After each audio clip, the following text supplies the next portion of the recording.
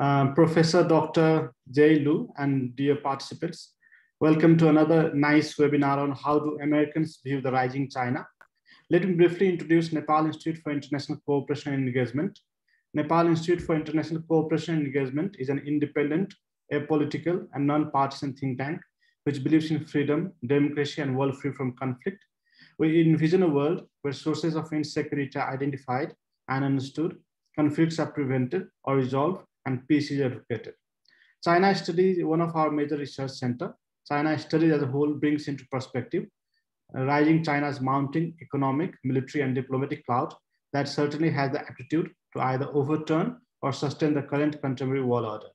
The center broadly examines China's international strategic thinking and conduct, foreign and security policy, and the impact of domestic politics and economy on China's foreign relations. It further addresses China's emergence in the face of the world in flux, domestic politics, economy, society, culture, People's Liberation Army and Tibet Autonomous Region, and most importantly, her engagement with each of South Asian countries. To talk on very interesting topic of today, we have Professor Dr. Jie Lu. Professor Dr. Jie Lu is a Chai chair, of, chair professor at School of International Studies of Renmin University, Beijing. He holds his PhD in political science from Duke University.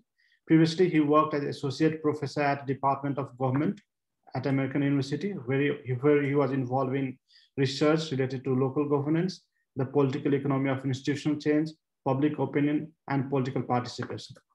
His, his regional expertise focused on the Greater China region and East Asia, his works has appeared in comparative political science, comparative politics, political psychology, politics and society, political communication, uh, Journal of Democracy, and many other journals.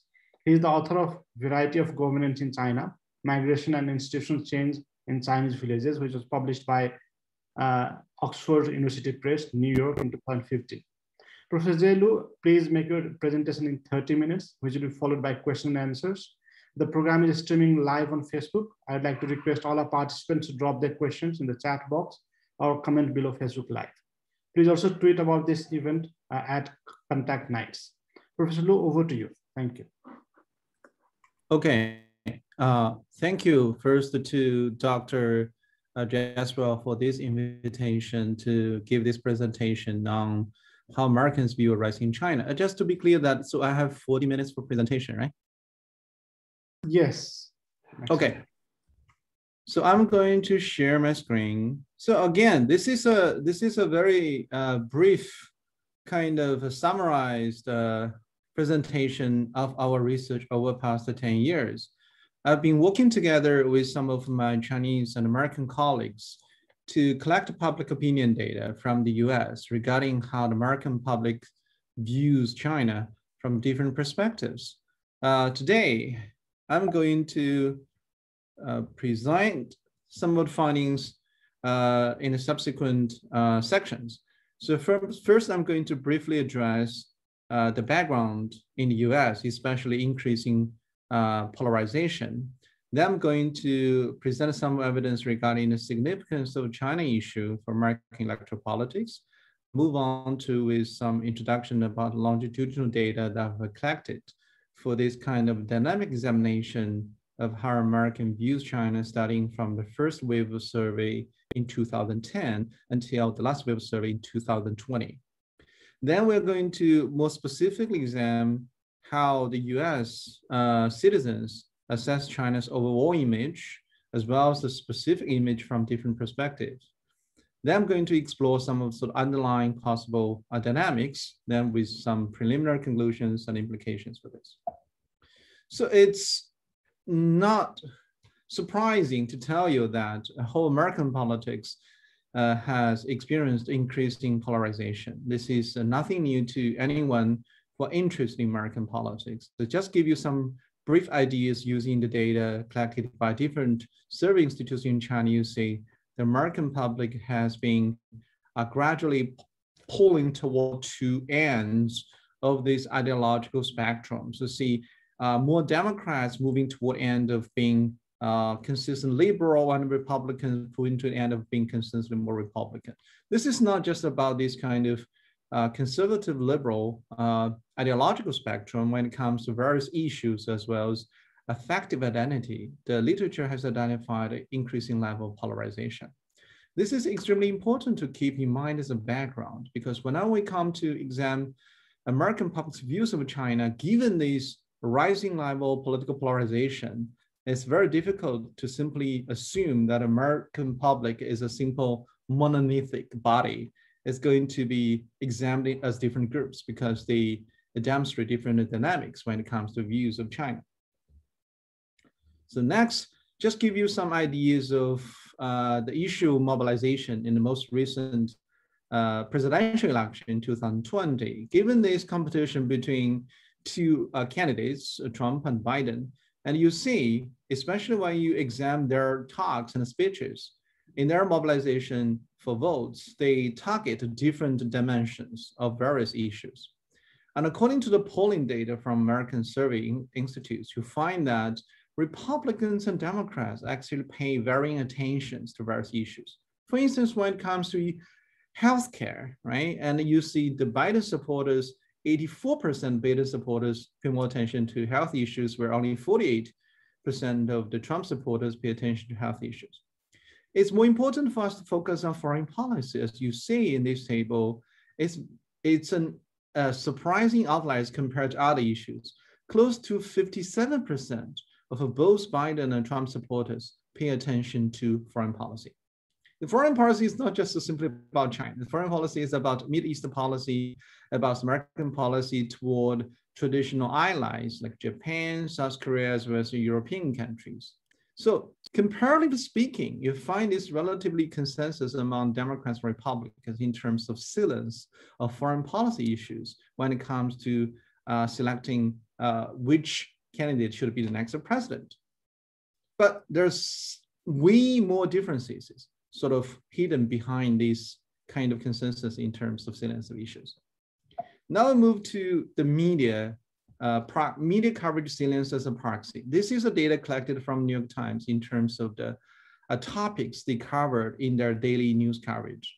And the right line stands for any news coverage related to China, the green one related to Russia, and the blue one related to econ economic issues. So this is this is uh, another way to demonstrate the varying salience of uh, China issue using newspaper coverage as a proxy. And you find that there are spikes in terms of intensity of coverage regarding China-related issues. Actually, these spikes, they uh, collapse really well with the presidential elections. So from the mass perspective, this is the data collected from Google in terms of Google search interest, right? China, Russia economy as the keywords to see when the American people are more likely to search for online information about China, about Russia, about economy. Again, you, you say there are being spikes that collapse uh, sort of uh, coincides really well with the presidential election. To say, in most cases, either in the 2012 election or in the uh, 2016 election, China issue clearly not most salient issue for American public. It's usually economic issues.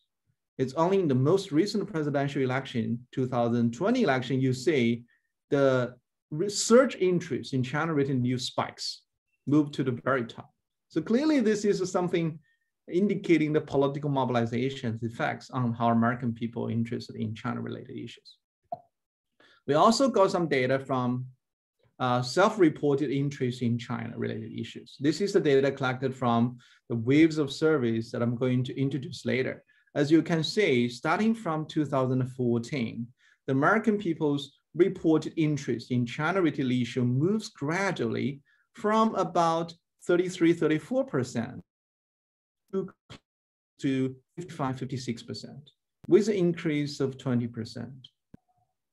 And this is this is huge as compared to their interest in many other foreign policy issues. But clearly, this kind of interest in China issues as compared to many domestic issues is not that high, but clearly the China issue, the salience of China issue has been increasing among American public.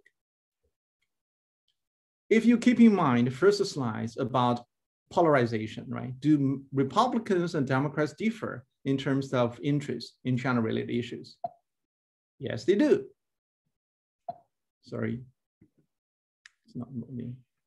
So here we separate American people according to their self-reported party partisanship. And you find in most cases, the differences between Republicans and Democrats are not that dramatic. But exceptional case is the 2020, whereas the dramatic difference and statistical significant difference between Republican and Democrats, where Republicans lead in terms of self-reported interest in China. And this is not just a seen here a gap in the descriptive evidence. One, we run regression models to account for many other confounding variables, and you find that difference between the Republican and Democrats is only statistically significant for the 2020 survey. So earlier, the difference between Republicans and Democrats in terms of whether they are interested in China-related news is not statistically meaningful after accounting for their differences in terms of age, gender, education, income, things like that. But in 2020, even after accounting for those issues, Republicans still way more likely to pay interest in China-related news. So this is the background to demonstrate that kind of salience issue of China-related has been, to some extent, clearly politically mobilized.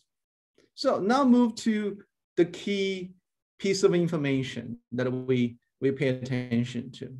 This is a very sort of brief background information about the survey. So I've been working together with my Chinese and American colleagues to collect the data starting from 2010. This is the first wave of data using computer-assisted telephone interviews. And then later on, we switched to these web-based surveys with matched representative sample. All these surveys are done by academic survey uh, research institutes in the United States with very high academic uh, quality. So in terms of representation, there's, uh, there's been uh, cross-validation studies done to demonstrate all these samples are clearly representative of the American public in general. And now in terms of the key instruments we use to measure, the first one is the general image. Basically, we're asking American people for how, how positive, how warm or cold they feel toward China, use the traditional feeling thermometer running from zero to 100. Instead of simply asking for their feeling toward China, we also ask the feelings toward Russia, India, and Japan for comparison. So this is the general image assessment. We also have specific image assessment covering both economic, culture, domestic, and international dimensions of China.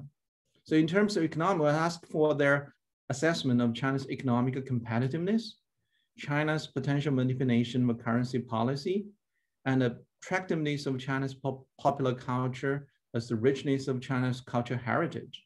Domestic politics, we're asking whether to perceive the Chinese government is trying their best to serve the people's needs and promote and protect people's political rights. In terms of international dimension, they have been asked to see whether China has been serving its international responsibility and as well as China's international influence. So from eight different uh, perspectives, we, asking we ask the American public to provide their assessment of China. And all these specific image actually they assess using traditional five-point Likert scale. And the time is starting from 2012 to 2020. Now the data. So first we checked average rating. Uh, this is a weighted ratings using the feeling thermometer of the American people's view of the general image of China. As used, the circle stands for China, the triangle stands for Japan, the square for India, and uh, uh, the, uh, the, the plus line stands for Russia. So as you can see, comparatively speaking, American people's feeling toward Japan is much warmer as compared to China, and so does their views toward India. It's most years, their average reading or feeling thermometer toward Japan and India is above the 50, which is the middle point. While China in most cases and below the 50, where in most cases their reading or their feelings toward China is even lower. So this is the, just a simple average situation where you can see as compared to Japan, India, and Russia, where China stands in terms of American people's overall image. So instead of just look at the average reading with just a point estimation of the American public's views of China, we can also check the distribution of the whole American public's feeling thermometer toward China. This is the sort of a density plot of the distribution of their feeling toward China. as you can see, we move from 2010 to 2020. The distribution of their feeling toward China gradually moved from one unimode distribution, as you can see in 2010, that's just one peak, which looks relatively symmetric as compared to a normal distribution. And when you move to 2020, the distribution to, into a distribution with multiple uh, modes. This is an interesting sort of a finding, which indicating the possible ongoing polarization among the people, right? Pull, pulling people toward uh, into different directions instead of pushing them moving into the same central tendency. So this is the first impression you get when you check the distribution of the American people's overall feeling toward China. Now, we check into the partisan differences. So we first cut all these average ratings into two groups, one rating average rating for the Democrats, one average rating for the Republican. As you can see, for in terms of feeling toward Japan and Russia, there's really no big significant differences between Democrats and Republicans when it comes to feeling toward Japan and uh, Japan and India. But there are significant differences noticeable differences when it comes to our views of China, especially the gap, the big gap, as you can see in the figure in 2020. And it's the Republicans hold much lower feelings toward China as compared to their Democrats, although both groups, their feelings toward China is below 50, which is relatively cold, but just the Republicans much colder. And when we move to this kind of regression-based diagnosis of partisan differences after accounting for all these potential confounding variables between Republicans and Democrats, you find before 2016, despite this kind of consistent difference between Democrats and Republicans, that magnitude of difference doesn't change dramatically. But 2020, it dropped significantly. So that again indicating potential kind of political process, right, moving on under the same. And now the distribution. Now you here see the black color stands for the distribution of feeling thermometer toward China among the Republicans, while the green ones stand for the distribution of the feeling thermometer toward China among Democrats. So if you check the distribution, you find actually this multi-mode distribution is primarily driven by the move of the Republicans rather than the Democrats. So the Republicans move quite frequently over the years. As you can see in 2012, 2015, and uh, uh, 2020, the Republicans moved dramatically to the left. But interestingly, in 2017, the two distributions overlapped greatly. But what happened in 2017? President Trump visited China. That was the kind of best part of the Sino-US relations when Trump assumed the pre presidency. But after 2010, things going on with the trade wars, all kinds of sanctions, and all these kind of blaming games played by the president against China. And you see the Republicans responded very quickly. But the Democrats, despite this gradual move toward the left, which means colder views toward China, but is relatively stable across years in terms of the distribution. So this is another interesting indicator of this partisan dynamics going on when it comes to American public's views of China.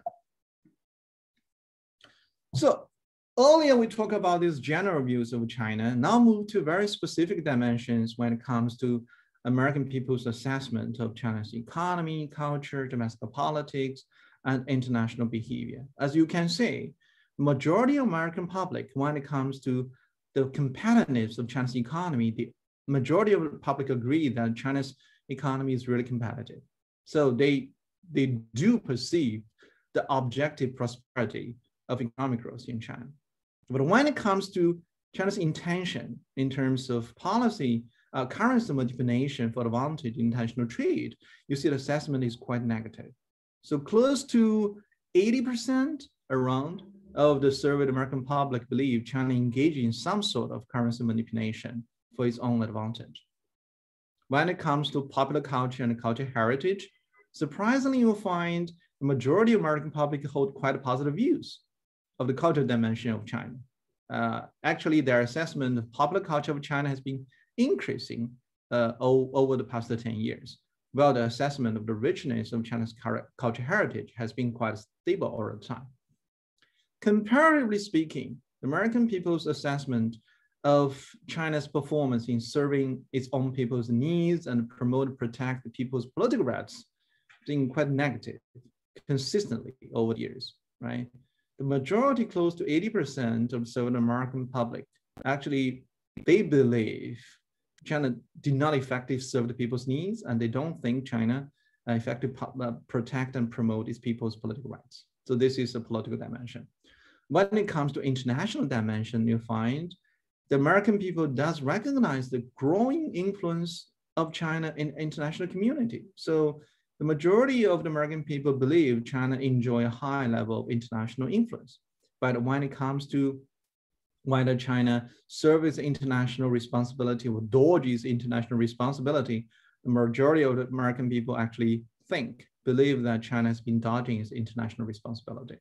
So you find a very interesting kind of multidimensional uh, views of different aspects of China. So the American people do observe on average some good economic performance, right? The counter attractiveness, as well as China's growing international influence.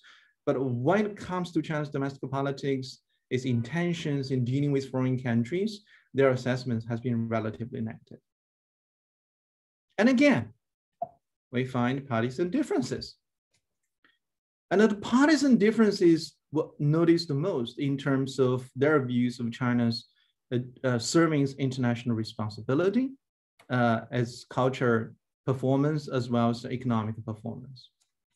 And one way, again, using regression models to help us diagnose that kind of partisan differences is you find over the time, the Republicans and Democrats diverge increasingly in terms of their views of how China serves international responsibility in terms of uh, their culture performance. But Republicans and Democrats actually they hold some sort of consensus in terms of China's domestic political performance. So this is the sort of the situation we have now uh, when, when it comes to American people's views of different aspects of China, as well as China's overall image among American people.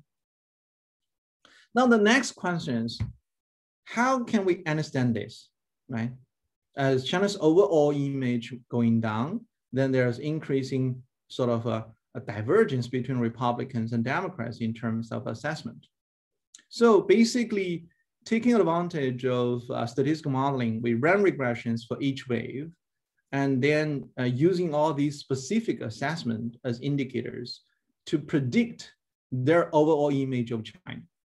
So over the years, we specify the same model and to say for each year, which aspects specific, assess, ass, specific as, aspect assessment is significant in predicting their overall image of China. And all these cells with stars indicating a sig significant influence or correlation between the specific assessment and overall image. And consistently you find four specific aspect assessment had dramatic influence over American people's overall image of China cultural dimension, two culture components, political, uh, popular culture and cultural heritage, and the extent to which Chinese government serves people's needs, and also the extent to which China serves international responsibility. And we zoom in to focus on these four uh, aspects and understand their respective influence within Republicans and Democrats. As you can see, the influence of a popular culture assessment, uh, China's popular culture assessment on their overall image has been decreasing over the time among both Republicans and Democrats. China's culture heritage, how American people view this. These, in, these components influence overall image of China has been quite consistent over the time among Republicans, but its influence among the Democrats has been increasing over the time. So over the time, the better views of China's cultural heritage for a Democrat in China, uh, the much better overall image they hold for, for China. And when it comes to China's performance in serving its people's needs, you see the influence had been quite consistent over the time. And it's roughly the same between the Democrats and Republicans, but impact is significantly higher among Republicans. So Republicans are more responsive to this, to their assessment of China in serving people's needs uh, and translate that kind of assessment into their overall image of China. The last component is their views of China's serving international responsibility. Again, over the time, these factors' influence has been increasing for both Republicans and Democrats. Nevertheless, its influence is much higher among, among Republicans. It's important for you to keep in mind that, comparatively speaking, the American people's assessment of the, the China in serving its people's needs has been quite negative and consistently over the time. So if this factor has been consistently significant in shaping their overall image of China, that kind of negative trend is understandable. And also, their views of China's uh, uh, performance in serving its international community, international responsibility has been relatively negative over time. And so Republicans are more responsive to that kind of change and assessment, and their overall image of China has been even uh, more negative is also understandable given the findings here. Now we're going to move from these very broad general longitudinal studies to zoom in and focus on two major events that has been covered in our survey data. So first one is Obama 2012 presidential election and also Trump 2020 presidential election. The reason we choose these two major events is they offer much similarities for a very effective comparison. So the candidates, the leading candidates are different. One is the, the incumbent president in 2012 is a Democrat, well, in 2020 is a Republican. And all these, all these happened at the end of their first term, which means these incumbents, they tried their best to mobilize for uh, their electoral victory for a second term. And the survey happened before the presidential election campaigns, which means if we are going to compare the influence of electoral politics on how the American people view of China, And these two scenarios offer the best sort of opportunities for do that kind of comparative study. And what do we find? So this is the information we collected from respondents regarding their assessment uh, of how the American government uh, respond to China. The first one asked whether they believe the trade war should harm China more, or the US more. The second is whether they believe China is an enemy or ally. The third is whether they think the government uh, has been tough enough in their dealings with China. So as you can see, right, uh, there has been significant increase the percentage of Americans believe that the trade war harms China more if you compare the 2012 and the 2020 survey. So over the past eight years, in eight years in between, there's an increase of 20 plus percent of American people believe the trade war harm should have China more. And also there's an increase of around 10% saying China should be regarded as an enemy of the US. But a significant decrease in terms of the percentage American believe their government has not been tough enough in dealing with China. So the black column stands for the situation Obama administration at the end of the first term, and the green bar stands for the, the Trump administration the end of the first term. If we decompose that again into two groups, and you find that kind of dramatic move actually primarily happened among the Republicans.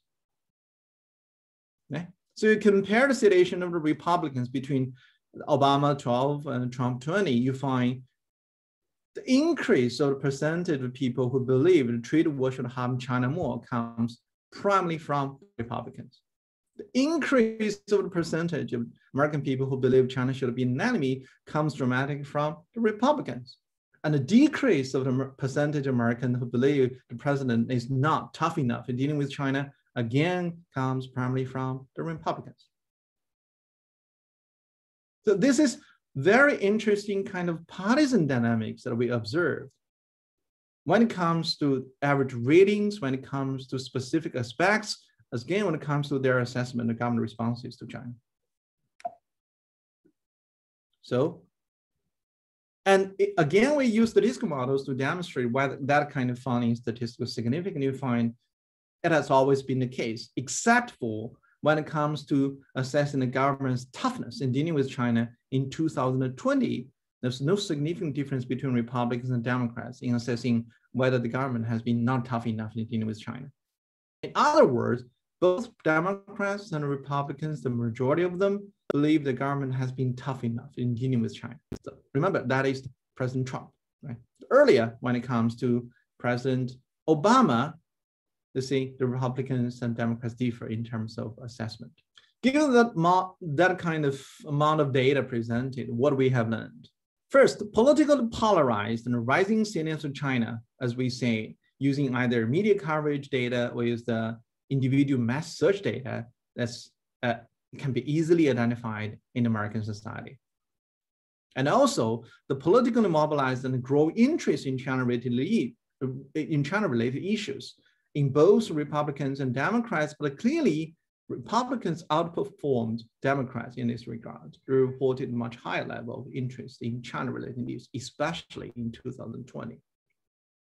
When it comes to overall image of China, you see over the past 20 years, starting from 2010 to 2020, we see a declining overall popularity of China among, among Americans. When it comes to distribution, as we say, in that kind of overall popularity, we find that kind of fluctuated polarization in the overall popularity of China. But that kind of fluctuation, that kind of polarization, mainly driven by the move of the Republicans. So in other words, the Republicans have been much more responsive to the elites and politicians' mobilization over China-related issues, while the Democrats have been relatively stable despite their gradual deterioration in that kind of overall rating, uh, overall feelings toward China. This is the first what we have learned overall. Second, so the data actually suggests that the American public perceive China as a country with rising economic power, rising international influence, as well as somewhat attractive culture. These are some sort of relatively objective features of Chinese society or Chinese government that they perceive. They perceive. But on the other hand, the majority of American public actually perceive China to be a country with bad intentions when dealing with both domestic and international issues They do not believe Chinese government is serving its people's needs. They do not believe that they engage in uh, performs to protect, promote their political rights, and they do see China as being dodging its international responsibility.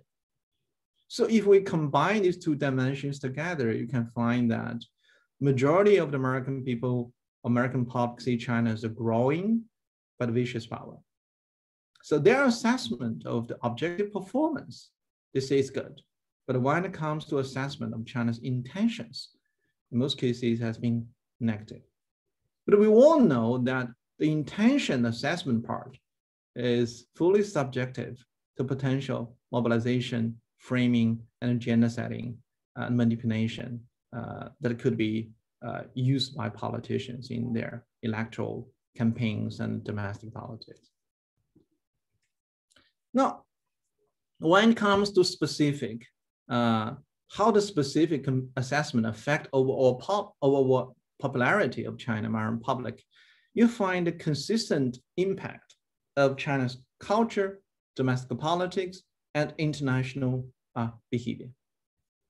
Oh, the culture part, especially China's culture heritage, actually plays an unexpected but rising uh, role in especially Democrats, views of China. This is something usually uh, unexpected and conventionally not discussed in, in, in this kind of uh, Sino-US relation dynamic. In most cases, people focus on economic competition, military competition, and geopolitical issues. But surprisingly, when it comes to public opinion data, you find actually how the American people view China's cultural heritage plays consistently significant and a positive role in shaping their overall popularity of China, and this is especially salient among the Democrats.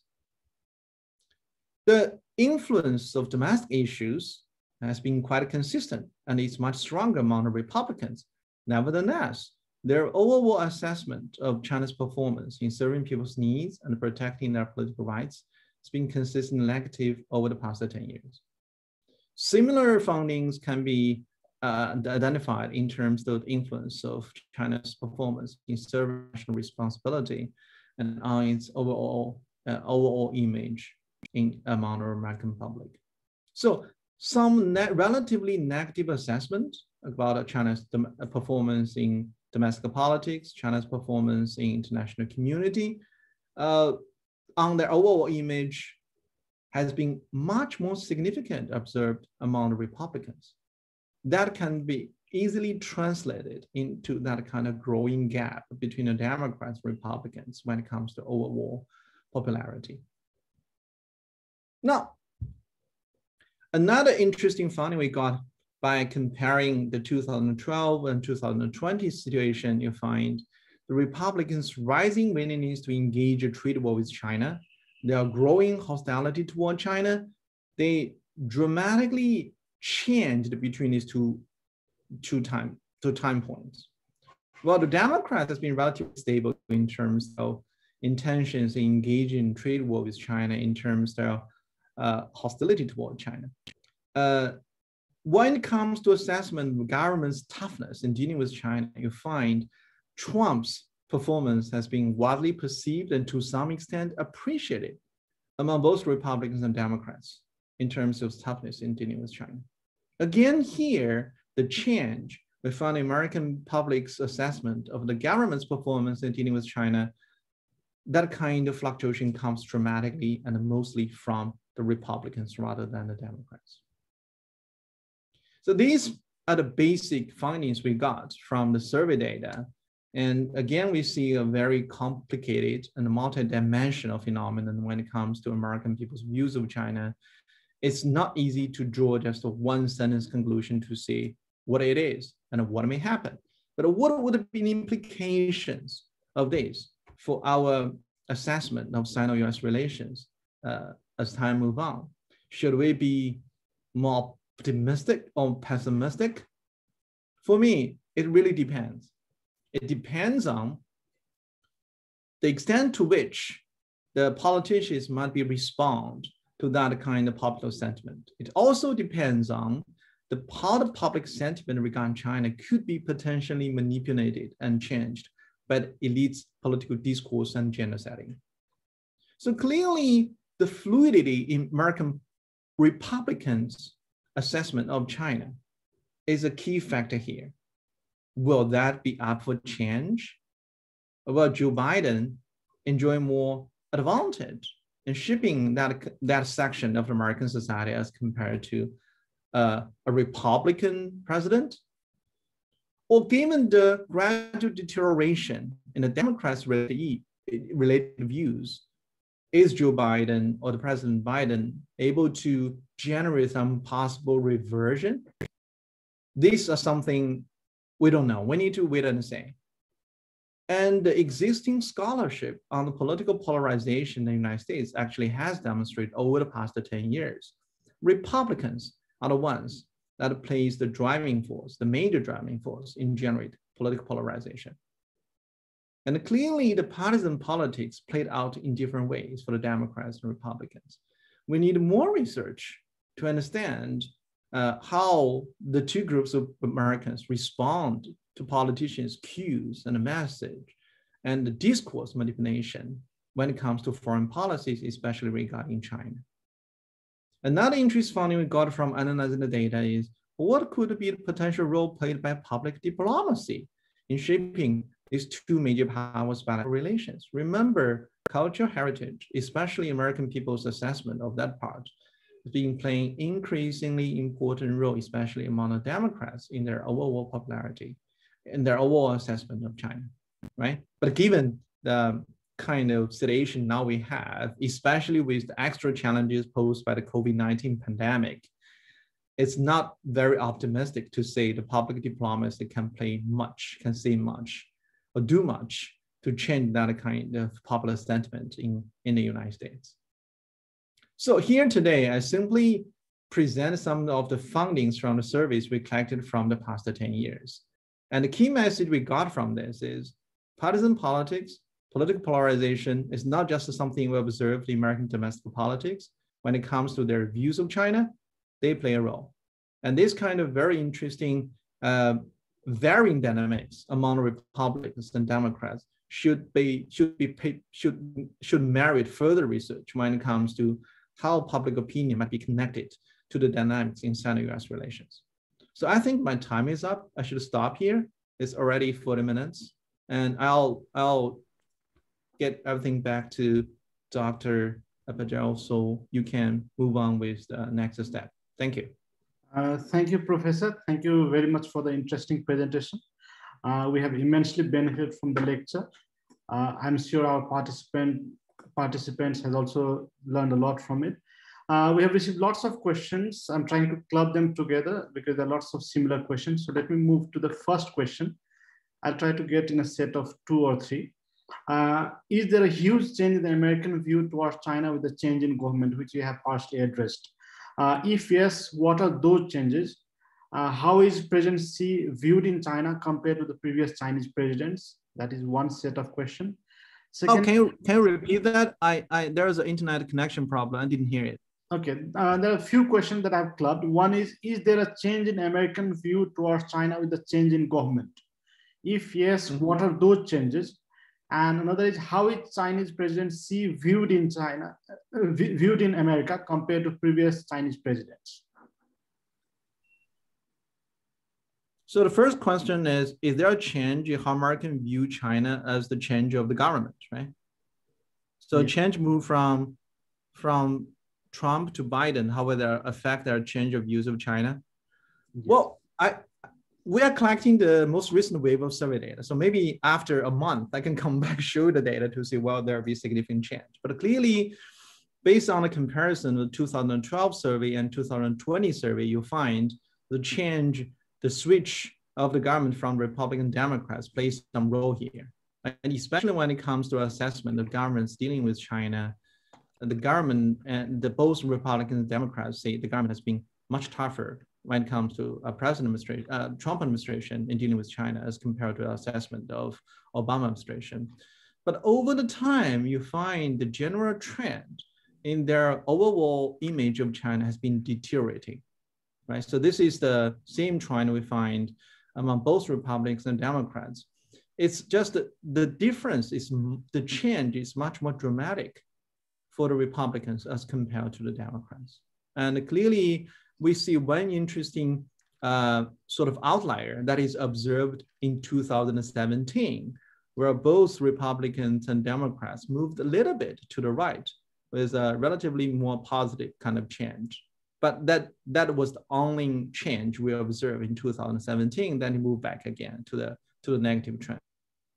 But if that is the critical case we can use for analysis, we find what happened in 2017 is exactly the major visit right, of Pre President Trump to China and related changes in the media discourse about China. So clearly, if we use that as a critical case for assessment, we find that the American public opinion is up to uh, manipulation and this kind of agenda setting and framing from the elites. Yeah. Uh, let me move to the second question. I'm trying to club three questions again. How do Americans view China? How is it different from other Asian countries like Japan, India, Korea, and Singapore? I think you addressed during the presentation.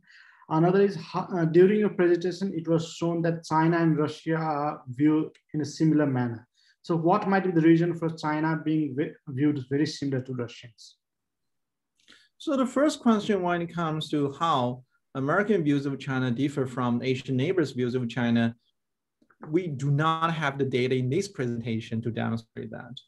So if you want to compare uh, the general views of the uh, uh, China's Asian neighbors as compared to American views of China, clearly we need comparable instruments in the surveys collected from all these countries. I believe one data set you may find related information is the Asian Barometer Survey. They cover 13 Asian societies where they do have uh, instruments like uh, the Asian people's percep perceptions of China's influence in this region to see whether it's good or bad.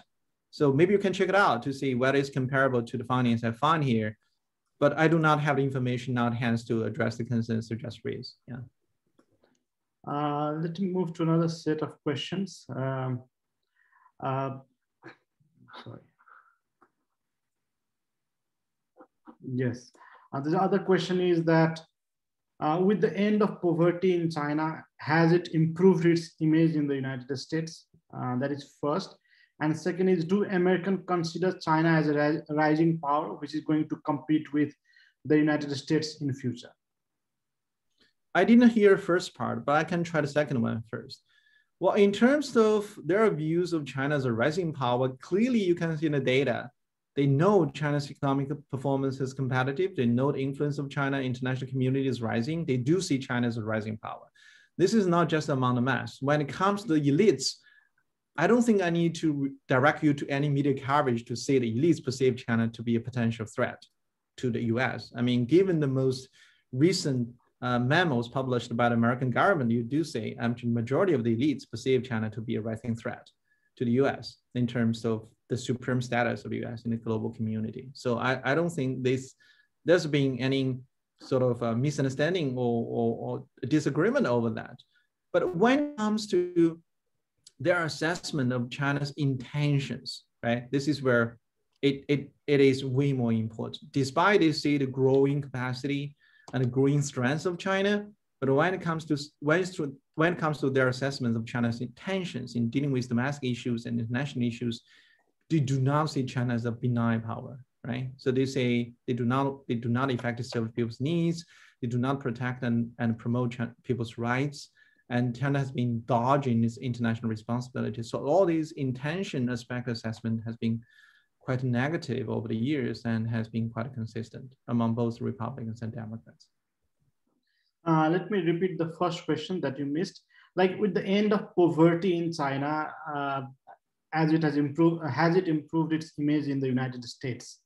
Uh, that is one. Second, will Sino-American conflict in South China Sea lead to a war if tension get worsened? There's another purely political question if you want to address. And another is, does the end of Trump administration also mark the end of US-China trade war? Or should we expect it to continue continuous under a less aggressive banner under Biden? Well, both questions actually should be better directed to my colleagues who study geopolitics and international relations. I'm a comparative politics guy. I focus on the micro dimensions of the public opinion, political dynamics change. So for me, I can just make educated guess, right? So I, I do not have that kind of professional expertise to provide a very comprehensive an, analysis of either the South China Sea issue or the trade war issue. But given, given all the statements from the US governments, even from the Biden administration, we do say actually that kind of competition in both economic domain and military domain is going to be sustained for an extended period of time. I, at least I don't expect that it's going to be any dramatic change in a short period of time. So there has been some sort of consensus among both Republicans and Democrats, especially among the elites, when it comes to how to deal with China. Otherwise, that kind of strategic strategic plan will not be announced by the government. And the trade war issue, there might be minor adjustments in terms of how to deal with China, but that kind of competitive status, that kind of mindset, I think will be will be with the American government for extended period of time. So that's that's just my guess. I again, I'm not expert on international relations. I don't uh, I don't do extensive research in that field, so I can just offer my personal views. Yeah. Um, there's another question like, do you agree with the rise of China in global politics? China has been attacked more aggressively by the United States, which is hurting its image.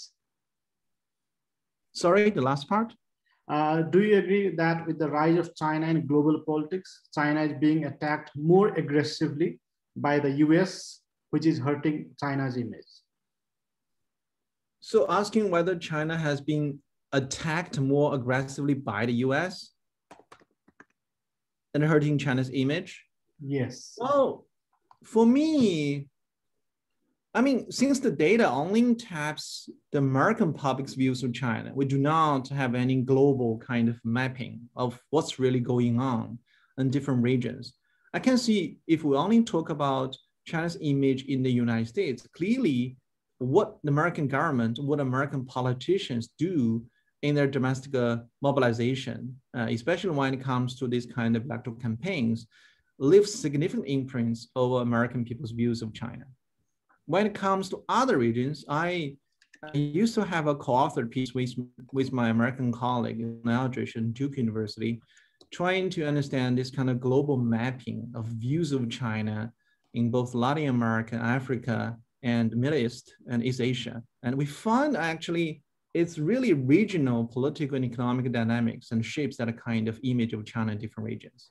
It's, it's very unlikely to be simply treat everything back to the US attack, right? So domestic or the local media coverage, local political dynamics, local economic ecology, and even China's investment projects in its regions and what China do in its regions how they approach that kind of cooperation and investments regions all have significant influence over uh, local people's views of China. Yeah. Uh, there's another reverse question that how do Chinese view the United States? Is there a change in US view in China in recent times? Sorry, not a connection issue. Uh, the question is reversed, like how do Chinese view the United States of America? And is there oh. a change in US oh. view in China? Okay, so yeah, um, again, I do not have the data at my hand, so I cannot uh, answer your question. But uh, according to according to a work I did back in 2010, with the data collected from two major cities in China, we find actually the Chinese people's views of the United States has been bifurcated. So when it comes to institution uh, when it comes to technology, education, culture, majority of the urban Chinese people actually hold very positive views of China, oh, of the United States. Well, when it comes to American foreign policy, according international behavior, the U.S., especially U.S. Toward policy toward China, the majority of the urban Chinese actually hold very negative views of the U.S. So clearly, you can see, again, the, the, the popular sentiment is not unidimensional monolithic it's very complicated and multi-dimensional. Yeah, but I do not have more recent data to see whether that changes. But um, according to some of the survey research in the China field, there's been in, a rising level of nationalism in China, especially among the urban Chinese. So if you take that kind of theoretically expected correlation between rising nationalism and um, kind of their views of foreign countries as granted for uh, making predictions, I think that might be some noticeable changes over the time. But whether that is the case or not, we do need empirical data to demonstrate that. So uh, it's it's difficult for me to make speculations here without seeing the data. Yeah. Uh, thank you, Professor. We still have lots of questions and we hardly have five minutes left. So let me try to club a few more questions. What steps in, is China taking to improve its image in the United States in particular and in West in general? Oh, I think China has done many things over the past over the past years. I mean, if you remember, China has been doing lots of things in in in in, in this kind of global PR campaign to to do many things to improve its image overseas. Uh, if you still remember, uh, I uh, uh, uh five, uh, six or five years ago, there is a big ad played in New York Times Square uh, uh, showing the, these kind of portraits of celebrities in China uh, from different fields. And also China has been trying to continue this kind of public diplomacy between the US and China, uh, taking advantage of these kind of non-political, non-governmental channels to facilitate this communication between the two societies, right? We all know better communication leads to less misunderstanding and can facilitate this kind of um, kind of mutually positive feelings among people. But it's quite unfortunate that, uh, that in the past uh, in the past five or six years, that kind of channels has been uh, blocked to some extent. So that kind of communication has been uh, interrupted, uh, uh, primarily from the U.S. side, and you see they they kind of sanction many of these channels and to say that cannot be visited and used. And China has also been trying to promote its culture and its, uh, its historical kind of heritage and richness through various institutes, uh, teaching Chinese overseas, right? So uh, holding exhibitions, exhibitions overseas. And I think to some extent that played out in the data we see. So the people who hold more positive views of China's cultural heritage, especially in the US, particularly in the US, they hold a more positive overall image of China. And this is particularly significant among the Democrats. Uh, so I think China has been primarily doing through these non-governmental uh, channels and a mechanism focusing on the cultural dimensions. And China has also been doing a lot in the international forums to explain and to demonstrate China's real intentions, right? What we would like to do. We want to have um, a, a establish a universal common good for everyone. We want everyone to benefit from this, or right? we do not want to be the hegemon as someone see China wants to be, right? But to, so, to what extent these explanations and the PR campaigns can be effective is another thing. And the perceptions really matters here because what you try to deliver, what the message that you try to send, to some extent could be significantly colored by other people's predispositions and beliefs. So this is this is the key issue here. But uh, the, that kind of bias, as we can see, and especially in the public opinion data we collected here, can be significantly found among American people, especially among Republicans, as you can see, right? They say China should be the enemy, and not our allies. So I, I, I, on the one hand, I do see Chinese government has been doing a lot to try to improve that, but that is not just a one-way game. That is kind of two-way game, and it's interactions between China and the, the other societies. Yeah. Uh, thank you, Professor. Let me uh, share the last set of questions, trying to club two or three questions. Do you think that the that the image of China will be improved during Biden administration, as it was seen deepest low during Trump administration? And the last is how successfully China's public diplomacy in the US, as, as well as US public diplomacy in China? Well, this, this are interesting questions. So the first one is about making speculations, right? So once I get the data from the, the last most recent civil I can come back to you with more findings to see whether that administration has done something good about it. But if we take the most uh, consistent funding from the American politics literature find public opinion is significantly shaped and manipulated by the elites. Then the question is the extent to which we find that kind of swift or change in the elite's political discourses toward China, so with the change from uh, Trump to the Biden administration. But if you simply review the coverage from New York Times, from Washington Post, Wall Street Journals, but I, I, don't think you'll find a very significant change in terms of their coverage about China-related issues, like the COVID-19 vaccines, right? Things like that. So if you do not see that kind of change at the elite level, and you see the block of the public diplomacy channels for that kind of communication, me, if you ask me to make speculation, you ask me to guess, I don't think there'll be uh, easy or swift change in how American view China in a positive way. So that's so if I give you optimistic or pessimistic assessment, I probably will bet on the pessimistic side to say, okay, this is not easy thing to, to be to be addressed. The second part is about what US did in China and what China did in the US, right? In terms of shaping their people's views of the other society. Uh, I don't know much about what the U.S. government did in uh, what the U.S. government does in China, but at least most recently, when the American embassy in China uh, reopened that uh, their visa sort of application process, especially for international students, for Chinese students. You know, Chinese students used to be a major component of foreign students in China, and they blocked the, the, that service because of the COVID-19 situation, not to reopen it because of China has been controlling that kind of situation very effectively. They sent a message in public uh, comparing, now it's saying, okay, welcome back to, uh, welcome back to the US, uh, but the ad ended note is saying is like, the dogs has been inside for so long, they're looking for happy times outside.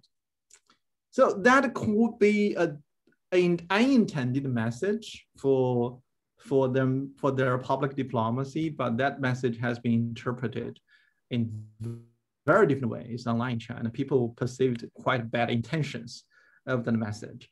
So I don't know. I mean, that part, if it interacted with the social dynamics, if it interacted with the predispositions held by many of the netizens or people in these societies, the effectiveness of that kind of government engaged or government lead diplomacy may not necessarily be that kind of significant. It may backfire.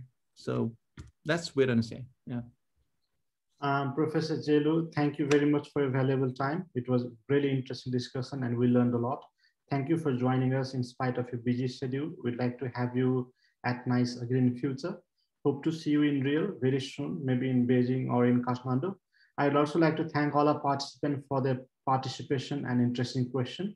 Please do join our next event. Thank you very much and have a nice day.